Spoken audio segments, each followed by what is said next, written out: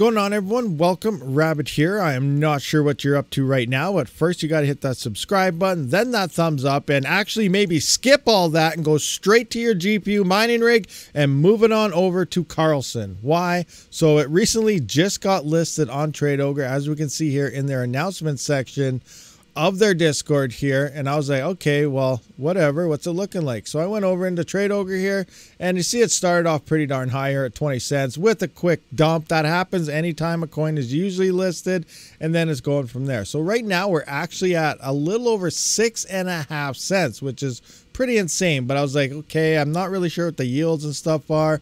I'm going to go over to hashrate.no just to kind of see what things are looking like. And I clicked on here and I'll just jaw drop to the floor. Guys, this is more profitable than when Kaspa first released. Look at these numbers. A 4090 is making over $13 a day at 11 cents per kilowatt hour.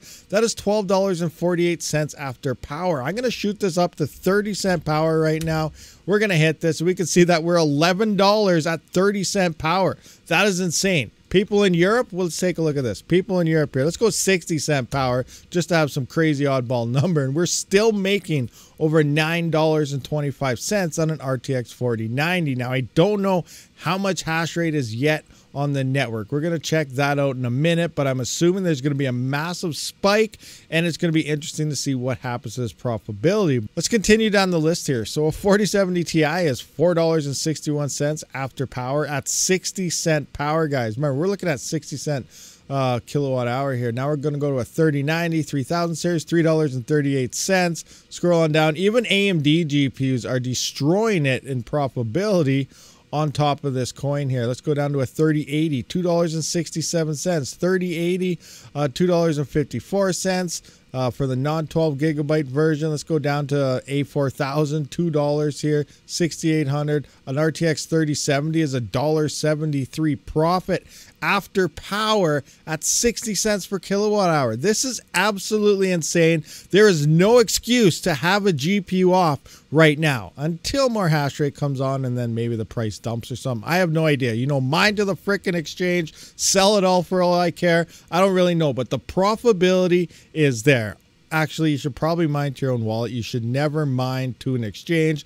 That's very bad practice. But you guys can do whatever the heck you want. I don't know if NiceHash or anyone has this listed yet, but if they start seeing some major profit boost, that could be a thing here. But right now, it is looking like GPU mining is extremely profitable right now. No idea how long this is going to last, but Karlsen is going to the moon. Now, if you don't know how to mine this coin yet, I will link a video down in the description of here we are. GPU mining is exploding right now. How to mine videos are floating around the internet. One will be down. Actually, I'll probably pin that in the comment of how to mine this coin just so make it easier on you guys and things are crazy. So let me know, are you mining this coin? Do you plan on mining this coin? Are you skipping this coin? Let me know down in the comment section. Now, let's kind of take a look at the network hash rate. And right now we can come to mining pool stats right here. It is saying the coin is still going up at 7.6 cents now. So that's interesting. Now it's flying high again. Looks like it's currently paying about, it's going up even more here. So it looks like it's paying out $333,000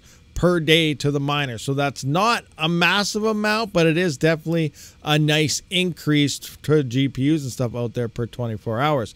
Um, there's not that much hash rate actually online. This may look like a lot, 105.23 terahash, but keep in mind like a 3090 is you're mining in the gigahash here. So there's still not too many there. As the hash rate picks up, the rewards are going to drop. If you mine Kaspa early on, you can kind of have an idea where it's sitting right now in hash rate. It is picking up very, very fast, but it'll be interesting to see how it is in a couple days to a week. Are we going to see two to 300 terahash in the next couple days? 500 terahash? Are we going to hit a petahash within the next couple weeks? There's a lot of GPUs out there, so I don't really know how this is going to play out. It's going to be very interesting. We're going to have to keep our eyes on this. Also, could the coin just dump and leave us? That's a very good possibility as well. We have no idea what could happen here. So crazy stuff. You can also have the chance that there is dual mining available for Karlsen, but the way things are looking right now, I probably wouldn't want to lose any hash anywhere. So I'd throw every 100% you got at it at this coin and pretty much soak up what you can right now. But yeah, very interesting times. One second block times, exactly like Kaspa. It is a fork. We just got to see what will this coin do moving forward. There also sounds like a fork is going to be happening sometime soon for an algorithm change because they do say it is ASIC resistant.